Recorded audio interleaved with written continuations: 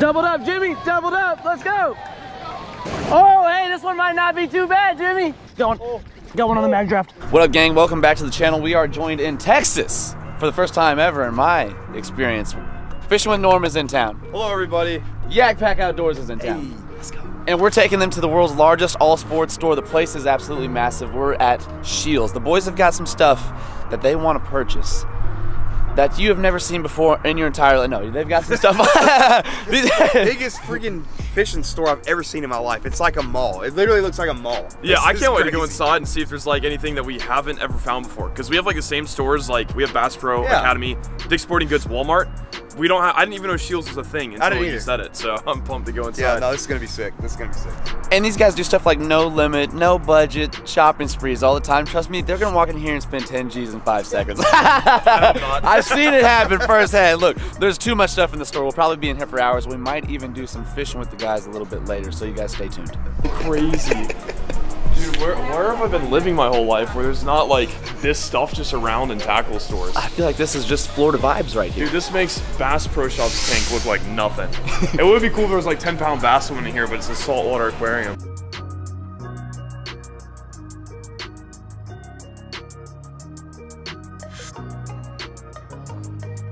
How much did you walk out of there spending, Norm? I feel like you, you got a long Um, receipt over here. $170, which 100? honestly, it's On- not that bad. But it, we on the iguanas and parrots, I'm reading and frog and bubble gum for YakPak because he was hungry. and those These are cool swim baits, the parrot. The parrot is a The- bait. yeah, so we just bought all the weird baits. So that's cool, I guess. That's what we know. just uh-huh. got into. You guys are gonna have to go check out the videos on Norman YakPak's channels, fishing with all this crazy stuff. In fact, we might do some fishing with the guys while they're in town as well. So let's go ahead and get some lines in the water, y'all. Y'all, okay, we're continuing this video. It's same time for y'all, but it's much later for me. Norman YakPak have headed back to Florida, and we are back at Scheels because they told me I needed to try out this one specific bait. I've been wanting to buy one for the longest time. I've been needing to. I've mentioned it in videos. It is very popular. It is a large swim bait, and we're gonna try and make things happen with it today. I brought a second rod other than my big swim bait rod just in case we can't get them to eat it. Let me just spoil the surprise, you guys. It is the Megabass Mag Draft. I'm gonna try and find the 8 inch and some sort of a shad color, like a whitish uh, color, is what I'm gonna go for. If they don't have it, then maybe they have a different size or an alternative color and we'll just make things happen because I'm excited to showcase this for the first time. There's 20 to 30 mile per hour winds today with gusts up to 35, maybe even surpassing that. So we're gonna hit the banks today. We are not taking out the boat or kayaks. We're gonna go to a spot you've seen before. We're hitting it with Torrance Pond Boys himself. I think this is gonna be a crazy episode. If we catch a fish on this bait, I expect it to be a five plus. I'm looking forward to it, y'all. Let's go.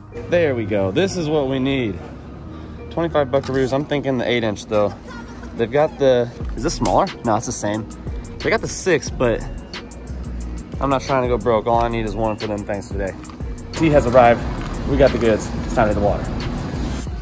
Let's roll. I've needed to get one of these for so long. $25. I like fully expect to lose it today too. The place is real snaggy, you know what I mean? And with this treble hook on the bottom, I'm curious to see how it goes. This would be fantastic for some other spots I have in mind, but today we're, hitting this one. So, ah, gotcha, baby. Put one in there, or do you do, or do you not do the? I feel like that's how it goes, right? You put one in there, or, or is there? Don't know how I've never thrown it. This thing's tried and true. It doesn't really need an introduction. It's like one of the sickest paddle tail swim baits that there is out there. When you're talking about the big baits, right? Some of those big bait guys, they're they're gonna be all about this one. There's like one big piece of metal that runs through the whole bait. I'm pretty sure it's a it's a magnet right in there, right? Isn't that why they call it the mag draft? It kind of locks this thing up against the body. I don't know. It doesn't feel like a magnet, but I think that's why they call it mag draft. I'm clueless over here. That's heavy duty right there. Big, strong treble hook. Assist hook tune. Sweet. Stabilizing hydro fin. New generation swim bait. Japan premium quality. Megabass Mag Draft. Patent pending. That's all I got for you, folks. I'm just gonna tell you the gear real quick because it's gonna be very windy when we get there. I'm sorry this whole video is taking place in the car. Not what I anticipated, but with the conditions is what we got. So I'm throwing it on a 710 St. Croix Mojo Bass Heavy Fast uh, Swim Bait and a rig rod. This is the Mojo Bass series. And yeah, it's rated for one to four ounces and I'm throwing it on a TranX 201, which is the 200 spool size, but the left-handed with the DRT handles and a working class zero flat knobs. Yeah, TranX, Mojo Bass, Mag Draft. Let's roll. All right, y'all, we're here. There's that wind I was talking about. Okay, so it's interesting with the hook keeper likes to just flail on out. You might want to go in front of me and I'll follow you up with this because this might, well, I don't know, this might bring him in. So, I mean, like, do I have to set the hook? This thing's got treble hooks. Like, I like that kick, I'll tell you what. Wow. That's gonna bring some fish up. So every cast, am I gonna have to fix this? Yeah. Is this what people love about the mag draft? The hook gets messed up every cast? I'm not complaining, I'm just saying. I mean, I guess I feel the magnet now. All right, we'll see. Dude, this thing is monstrous. All right, that was about four more casts and the hook came out. It feels pretty locked, but then you cast it a couple times. It said something about tuning. Do you like shorten this? I'm, I'm kind of confused. First day mag drafter. Yeah, okay, I seen it. He's on the jig. Bottom baits. Oh, that's good. I've been reeling that in. that was my furthest cast. Is there an optimal way to put this hook in here to get magnetized? Oh yeah, crankbait. Oh god. Nice. Oh, oh, oh, oh, oh.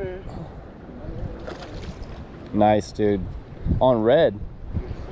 I hear bass can see red very well compared to a lot of other colors. Maybe I bought the wrong color mag draft. He was right along the wall or he was out a little ways? He was out. Okay. You know what I'm thinking is you just leave the magnet, you just leave the hook loose. I bet you it just, it ends up getting tucked up in there and just stays put and the one hook stays down. Oh, dude, smoked at the bank. Wow, Smalley. Nice, dude. Oh, I. Oh, I forgot, I didn't even bring my pliers. Do you have stuff on you or no? You don't? Oh no. Dark smallmouth too. Texas smallies out here, y'all.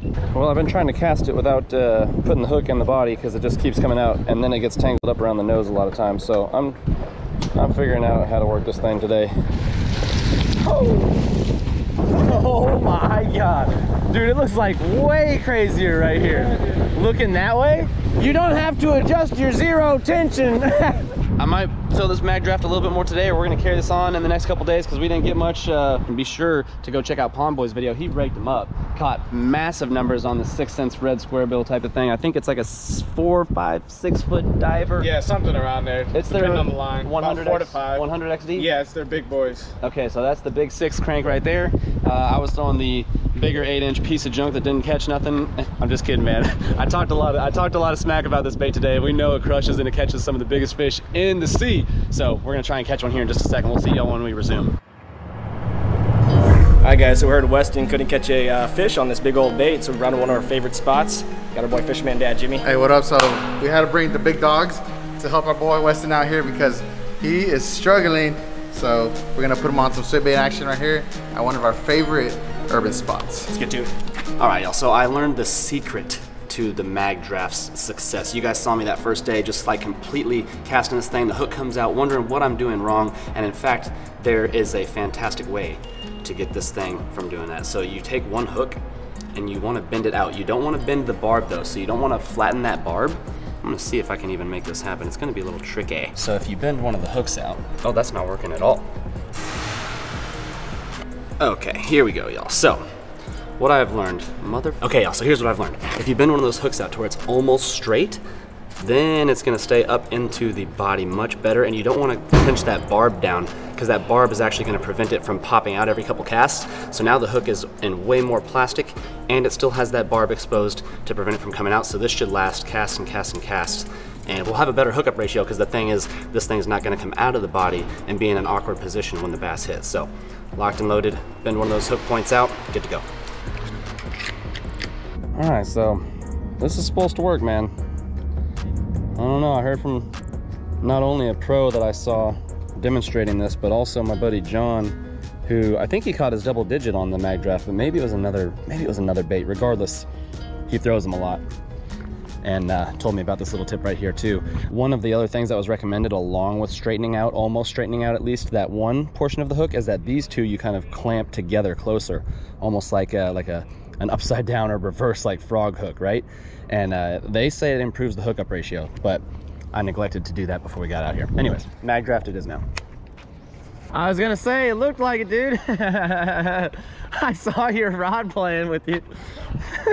Ryan thought he had a rock for a second, man. I think that's the second one, no, third, at least third hit he's had on the bluegill bait now. So they're active, chasing bait. It is just whether they will go after the big old mag draft. It has been like eight minutes of casting and the hook is still in the body. So I am definitely happy with that change right there. Total switch up from the first half of the video or quarter or three quarters of the video or however long it's been and however much is left.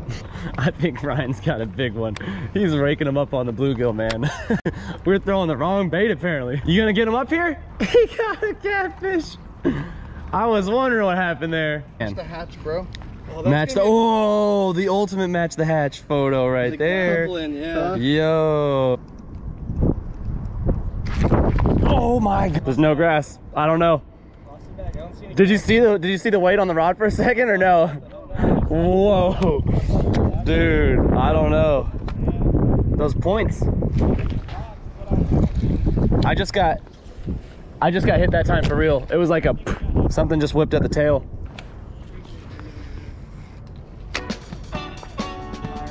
Yeah.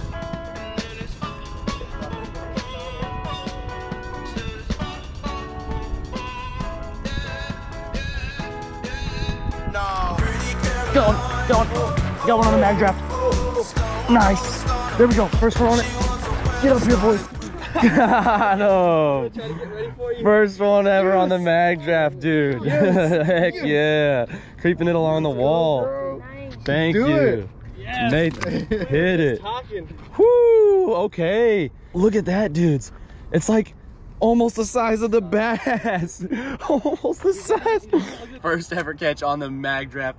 Would you believe it? Stuck him. I didn't know if I had to bite that time. I've been setting the hook like on grass and everything. And that time I gave it a second and then I felt him a second time. No, crank it down. Woo! That modification, I think made all the difference, dude. I got a lot more confidence in the hooks now knowing they're staying in position every single time. Not a true mag draft giant, but I'll tell you what, to catch one on this bait is the success. Most fun you can have in fishing, man. Let's let him go. Ramp is for baby ducks, but I'm thinking he'll be fine. No, I'm just kidding.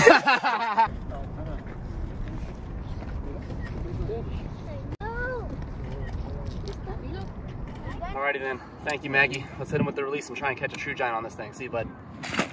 By the way, you guys, if you want to check out my favorite swim bait reel, look, Ryan's got the swim bait. He's got the reel too. TranX 200 spool size, absolutely fantastic. Going to be linked down in the description. I've got the uh, cheapest place you can find these babies for you guys, as well as the rod. That, we're also both on the same rod. So this is a one to four ounce rated rod as far as your swim baits go.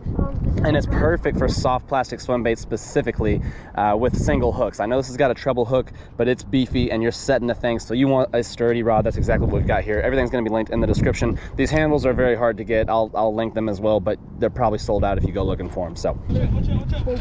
Ooh! What is it? What is it? What is it? How much you weigh? How much you weigh? Dude. Oh, dude.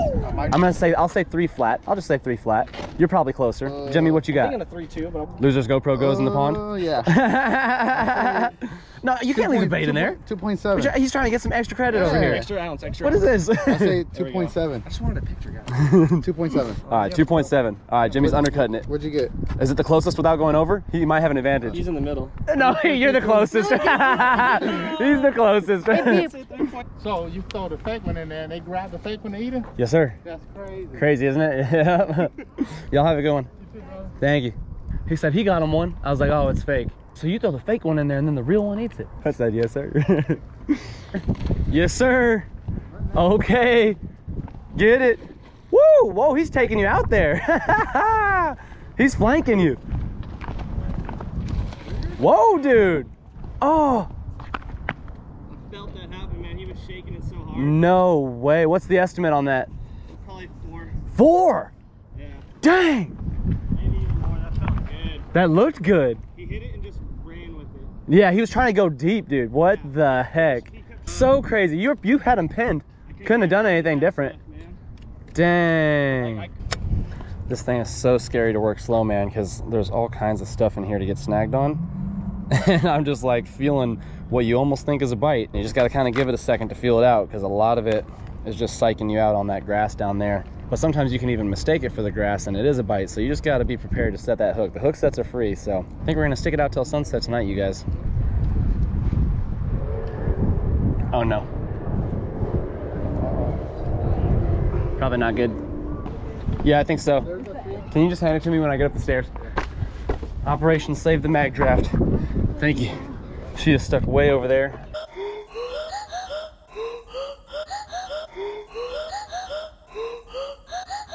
It's not looking good, y'all. Got her. Line feels good. Wow. I just saved literally a week's worth of Chipotle money by not losing this thing. That deserves a like and subscribe. So you can fish here, but you can't fish over there? I don't know if they want you to anywhere, but I think it's just the people leaving all their trash here. Oh. Yes, sir. Yeah, one so far. Our buddy's caught a couple. Is that right? Yes, sir. Thank y'all. Dude, Saturday is like the day out here. Uh-oh. I think I might have actually, oh, no, we got her. We got her. Just walk down the street. Yes, sir. You just came down the street. Yes, sir. You just seem to get places faster than we do. We're on a mission. Gotta find the giants. Ryan, Ryan just caught another fish, y'all, so people are acting up out here. Dude, get one in here. People will go crazy. There's a lot of people eyeballing us on the other side right there. What's up, y'all? One on the big swim bait, too. Yeah, on the on the mag draft I just got, yeah. Yay, thank you. My pleasure. What's your name? Sick. I'm Nick. Westin, nice to meet you. Nice to meet you. too. Maybe we can get one for y'all, but I don't know. doubled up, Jimmy. Doubled up. Let's go. Oh, hey, this one might not be too bad, Jimmy. That's a big old cat, dude. Big old cat. Hey, can you grab my bag? I gotta come over here with it, I think. Yo, I might have to walk it around. Hey, can you help me out real quick? Okay, y'all. I think that was off camera, but we tried to pull that catfish out and uh, he broke the line. So it's like a six foot drop right here where I'm at. And I was trying to like wheel him over to where it's like three feet, but it did not happen. So that guy just snapped us off on the crack and crawl. I'm throwing this. They seem to have shifted their mindset and be going after the bottom baits as the sun's setting. So let's try that again. That thing was probably 10, 12 pounds maybe. I don't know. Big. Do you mean like the, the reel, the bait yeah, caster? The, the, the yeah. casting reels. I have no idea how to do those. Well, we got to get you dialed in on these. So you got that open? yes. Okay. So just cast however you feel comfortable, and you won't have to really worry about much. Just just cast how you normally would. I've got it pretty dialed into where nothing's gonna try happen. it? Yeah, just try it. Yeah. Just- yeah. Perfect. And so you know to thumb it too when it hits the water. I, I, I've been taught that. It's just like it doesn't happen. Yep. Also with your grip, and it feels awkward at first. Yeah. Right. It, this always feels awkward. But what happens is you kind of have your thumb on there, so you Yeah. got a good hold on the reel itself. You might even be like in between those last fingers. It depends Mm-hmm. on how big your hand is, I suppose. But like try and give that a, a whirl, where you're like more Like thumb is almost over it, palming Okay. it they call it, right? so it. then uh, it's it's almost like if something were to hit and you were like this, the rod could twist and all these different things could happen. sense. You got a little bit more control like mm-hmm. that That makes sense. because everything's real tight, right? Yeah. So you're not going to get the same distance. That's great distance, but like you're not going to get insane distance or Yeah. what have you. When I click the release, you want it to drop slowly. Okay, that drops kind of fast. So Right. now, now when it hits the water, you'll really have to Stop it. You'll really have to stop it. Otherwise, it'll just continue to feed off there like that, and and it could get you a little something. Yeah. Yeah, which is fine if you do. I don't. I could care less. This time it'll cast much further with the Okay. same swing, Got and then it. you just stop it when it hits the water, and if you don't, it doesn't matter. Yeah. Where people get it wrong is they just try and get like max distance and set the brakes somewhere like in the medium side of things instead of like cranking it way up. Mm-hmm. Yeah. Or they don't think about the tension and they leave it loose. And those two combined, Mm-hmm. if you just try and like cast something, especially if it's light, if it's Yeah. Mm-hmm. heavy, it can take the line out much easier. But if it's light, a big challenge if you don't like max out the brakes. Yeah. And definitely uh, worry about the tension. And if there's wind involved, to help you learn faster, cast with the wind. Like if you can get on the side of the bank where Yeah, you can cast with the wind, you're in much better shape. If you're casting into the Yeah. wind, that's when you need to crank the brakes up and, and tighten the tension when you're Mm-hmm. just learning it. Dang Let it. him know. We'll, we'll hook you up down there. Hey, it'd be awesome. Yeah. We'd love it. I appreciate it, Yeah, y'all. It was nice to meet all you guys. to meet you I'm out of here, y'all. Have Till next time. Thank you guys. Have a good one. All right, y'all. What a crazy day and crazy episode. Started off with Norman YakPak over at Scheels. Them telling me I need to try something off the wall and grab one of these mag drafts. You don't know what you're missing out on if you're not fishing new baits. So I went ahead, got something that is, hey, I mean, it's intimidating getting out and throwing these big baits sometimes and dedicating the time to it. We fished it over multiple days in this episode. Got out with Pond Boys. Everyone's to be linked down in the description, man. Met up with some new friends as well as finished strong with a catch on the bait today. Fishing with Fisherman Dad Jimmy and Ryan Rigged. I mean, it doesn't get much better than that. And to top it all off, we hooked into a 10 to 15 pound flathead catfish. We couldn't secure the bag on that one, dropped him back in the water, and with that, this episode is concluded. We will catch you guys on the next one.